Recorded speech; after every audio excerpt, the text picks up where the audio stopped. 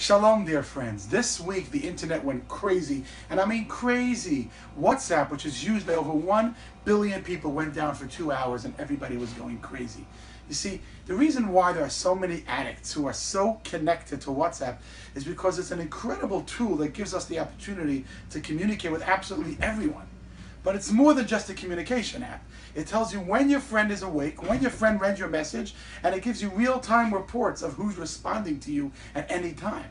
And for me as a Chabad rabbi, I love WhatsApp. You see, I'm the inspiration business. I'm trying to inspire people to light Shabbat candles, to come to Shabbat dinner, to maybe engage in more positive extracurricular activities on a Thursday night. And it's an incredible tool that I could send a message to a student saying, hey, Sam, do you want to come to Shabbat services tomorrow morning? Or do you want to come Sunday morning and put on tefillin? And I could see if he's still sleeping. I could see if he woke up and is ignoring my message. It's an incredible tool that gives us the ability to communicate with others in such a powerful way. That's why, my friends, I believe that WhatsApp is so popular because not only you could communicate with others, not only it's free, but it actually makes it so accessible. Truthfully, my friends, it got me thinking, could there be a parallel for WhatsApp in a relationship with God? I mean, think about it. God is constantly online. His status is always set to available.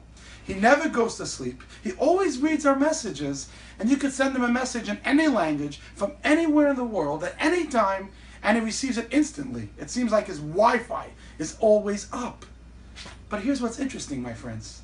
This week, billions of people around the world freaked out when WhatsApp, when WhatsApp was down for two hours. Would you freak out for two hours if you thought that your connection to God is a little bit weakened? I want to encourage you, my friends, to join me on this challenge. What can we do to ensure that our addiction to God is almost as strong as our addiction to our WhatsApp? A lot of times people tell me, Rabbi, I don't really connect with prayer.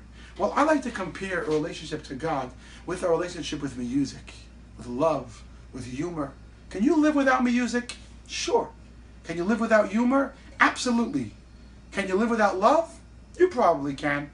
But, my friends, a life without love, humor, and music is a shallower life. You can live, you can think, you can walk, you can breathe, but it's missing something very important.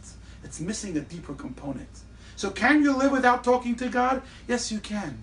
But it's a life that's lacking a certain dimension, a certain depth. It's a narrower life. There's no infinity, no mystery, no real purpose, no real meaning. My life doesn't really add up to, to anything without having that daily communication with God. So where does this take us, my friends? I encourage you to join me as we embark tonight on a 24-hour challenge of doing a WhatsApp outage.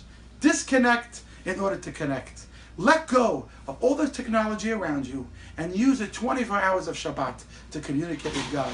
And I guarantee you that when you open your heart, like the verse says, Shivchi kamayim libech, neichach fnei Hashem. When you open up your heart and you let your feelings pour out like water, and you communicate to God like a therapist. You tell him your fears and your struggles. You tell him how nervous you are that you're graduating from college and you still don't have a job.